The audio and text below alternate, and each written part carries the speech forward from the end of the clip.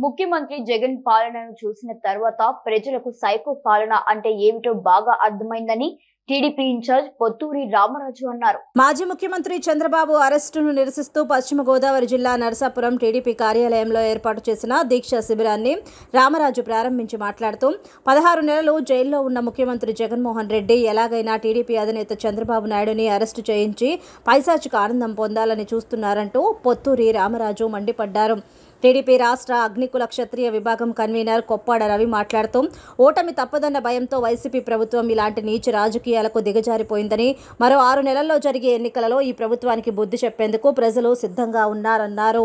ఈ రోజున ఈ యొక్క రిలే నిరాహార దీక్ష శిబిరానికి ఇచ్చేసినటువంటి జగన్మోహన్ రెడ్డి గారి పరిపాలనలో ఆంధ్ర రాష్ట్రంలో ఎంత అరాచకం జరుగుతుందో నిన్న చంద్రబాబు నాయుడు గారి అరెస్ట్ విషయంలో చూస్తే అర్థమవుతా ఉంది.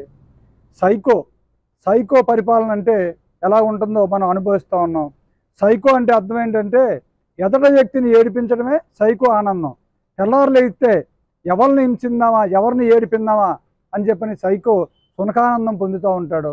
ఈ రకంగా మన ముఖ్యమంత్రి గారు కూడా ఆయన ముఖ్యమంత్రి అయిన కాడి నుంచి రోజు ఏదో ఒక విధ్వంసం ఎవరినో ఒకరిని కేసులో పెట్టడం అన్యాయంగా ఇరికించడం అంటే ఈయన లక్షల కో- లక్ష కోట్ల రూపాయల అవినీతితోటి ఈడీ కేసుల్లో సిబిఐ కేసుల్లో ముప్పై రెండు కేసుల్లో ఇవాళ నిందితుడిగా ఉండి పరిపాలన చేస్తూ ఉన్నాడు. సంవత్సరం ఆరు మాసంలో జైల్లో ఉండి వచ్చినటువంటి వ్యక్తి అతనికి ఓ సైకో అంటే ఏంటో ప్రజలు ఇలా అర్థం చేసుకుంటూ ఉన్నారు ఇవాళ. జగన్మోహన్ రెడ్డి గారు ఆయన ఎన్ని సునకానందాలు పొందినా ఎన్ని చేసినా చంద్రబాబు నాయుడు గారి మీద బురద చల్లటానికి ఆయనకి ఎట్టి పరిస్థితుల్లో ఏ విధమైన అవకాశం రాదు. చంద్రబాబు నాయుడు గారు నీతి నిజాయితీగా పద్నాలుగు సంవత్సరాలు ఉమ్మడి రాష్ట్రంలో కానీ మన విడిపోయిన రాష్ట్రంలో కూడా పరిపాలన చేసి ఆయన ప్రజల ప్రజల యొక్క హృదయాల్లో చిరస్థాయిగా నిలిచిపోయారు.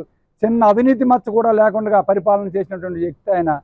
ఈవేళ ఈ యొక్క కేసు ఎప్పుడో రెండు రెండు వేల ఇరవైలోనే రిజిస్టర్ అయితే ఆ రోజున చంద్రబాబు నాయుడు గారి పేరు ఎఫ్ఐఆర్లో కూడా లేదు కనీసం. ఈవేళ ముప్పై ఏడవ ముద్దాయిగా ఆయన జాయిన్ చేసి ముప్పై ఏడవ ముద్దాయిని మళ్ళీ ఒకటో ముద్దాయికి తీసుకురావడానికి కోర్టులో ఎఫ్ఐఆర్లో పెడితే కోర్టులు కూడా నీతి నీతి నిజాయితీగా పనిచేస్తూ ఉన్నాయి. ఖచ్చితంగా వీళ్ళు చేసే దుర్మార్గాలు వీళ్ళు చేసే రాజకీయ కక్షలో కోర్టులు కూడా అర్థమవుతూ ఉన్నాయి. ఖచ్చితంగా మీకు భంగపాటు తప్పదు. చంద్రబాబు నాయుడు గారికి ఇంకా ప్రజల్లో మీరు చేసిన తప్పుడు పనుల వలన ఇంకా ఆయనకు ఆదరణ పెరిగింది. కాబట్టి చంద్రబాబు నాయుడు గారు విజయంతో వస్తారని చెప్పి ఆకాంక్షిస్తూ జై చంద్రబాబు నాయుడు గారు జై తెలుగుదేశం.